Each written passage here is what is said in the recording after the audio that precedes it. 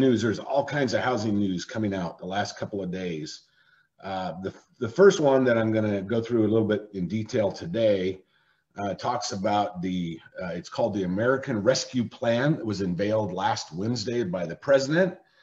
Um, the president has earmarked $213 billion of this $2 trillion infrastructure plan um, for housing. And specifically, what he wants to have done is uh, the building or rebuilding of 500,000 homes in low and middle income areas of the country. Um, and that's part of a master plan to build and rehabilitate 2 million affordable homes and commercial buildings over the next 10 years. Uh, how is this going to affect you? It's going to affect everybody. First of all, he's calling for the repeal of what's called uh, exclusionary zoning laws. Exclusionary zoning laws are things that will keep a, a certain community.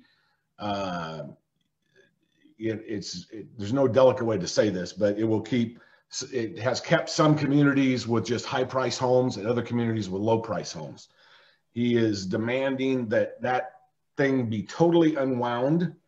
Um, in other words, taking the ability to uh, say what kind of housing or a standard of housing are allowed in any particular area, taking that away from the local authorities and making it all federal law. This is going to be an interesting thing. If he's able to get that across, this will be a game changer.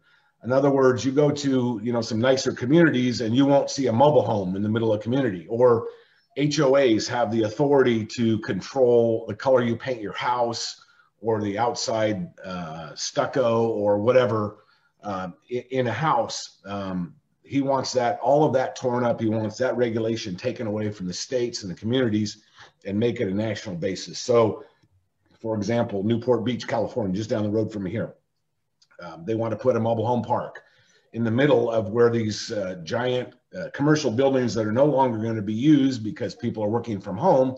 So they'll tear that down and they'll be able to put a low cost housing uh, in the middle of that uh, and or a mobile home park. So that's what they're looking for. Um, they're probably going to get it uh, the way that everything is run uh, the next year and a half, two years. Um, they're going to be able to pass these kinds of funds. Once funds are passed, it's very hard to pull it back. Um, but we're going to see what happens. This is going to be paid for by an increase in taxes. Um, in fact, the corporate tax rate is anticipated. They're saying right now that it's going to go from 20, it's going to go up to 28% bottom line for whatever it is now, 18 or 20%. It's going to go up to 28%. They're also going to give first time homebuyers a $15,000 tax credit um, the reason behind all of this is it's designed to spur the economy. They finally figured out that rather than give money directly to people, you're better off creating jobs where people can work. This is the the FDR um, deal in the 1930s during the Depression, uh, the, the, the Works Progress Administration, the WPA, uh, where they put everybody to work. In this case, they're going to put everybody to work building houses or rebuilding houses and it's going to be a, a, real game changer out there. They're pushing for home ownership. Um, I predict down the road, if this administration succeeds itself, you're probably going to see public housing in 50% of the communities across the country. In other words, the houses will be controlled by the federal government. You, home ownership, uh, private home ownership could be a thing of the past. Now we'll see how far that gets in the Supreme Court, but that's where this whole thing is heading. So it's kind of an interesting deal. And I'm going to tell you a little bit more about that on um, Thursday night's call uh, because the Consumer Financial Protection Bureau, CFPB, has suggested some regulations which they don't have to go to Congress to get, they can just do it, um, that would stop foreclosures.